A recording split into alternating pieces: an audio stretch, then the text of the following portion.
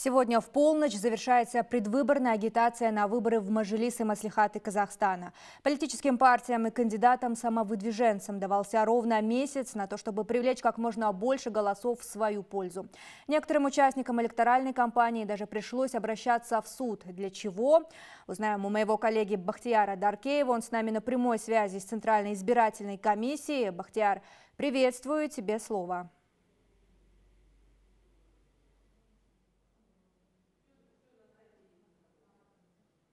Бахтияр. Здравствуй, Анур. Действительно, до окончания предвыборной агитации осталось всего несколько часов. Любой призыв голосовать за ту или иную партию или кандидата самовыдвиженца сегодня после полуночи будет считаться вне закона, ведь 18 марта – это день тишины. Впрочем, нарушения регистрировались и в период электоральной кампании. По данным Генеральной прокуратуры, всего зарегистрировано 23 случая нарушения выборного законодательства. В их числе порча агитационных материалов, незаконный опрос общественного мнения, распространение анонимных агитматериалов.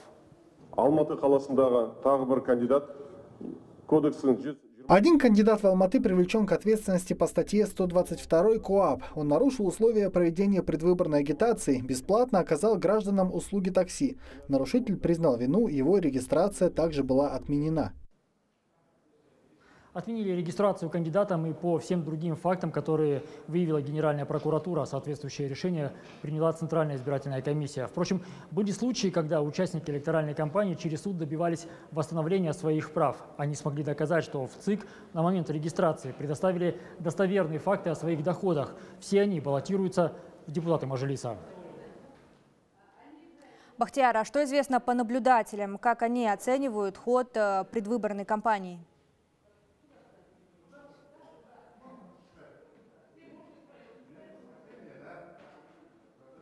Бахтияр?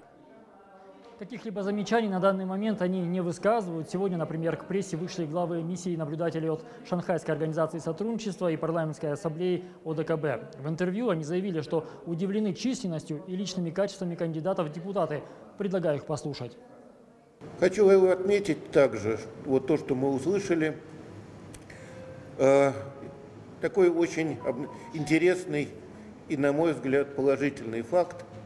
Это Средний возраст э, кандидатов на э, членство в Мажилисе и также местных законодательных собраниях – это меньше 46 лет. То есть это показывает, что депутатский корпус страны сильно омоложается, омолаживается и это, несомненно, придаст развитию Казахстана новую динамику, новую гибкость и, я бы сказал, новую, новую креативность. Когда нам э, довели цифры, сколько кандидатов зарегистрировано именно по мажоритарным округам, мы были впечатлены тем интересом и тем количеством кандидатов, которые действительно прошли регистрацию. И э, мы видим, что и людям, и кандидатам интересно участвовать в политической жизни Казахстана. Напомню, что за выборами депутатов в Мажилис и Маслихаты страны будут следить почти 800 наблюдателей, и большая их часть представлена различными международными организациями. Айнур, это вся информация к данному часу. Тебе слово.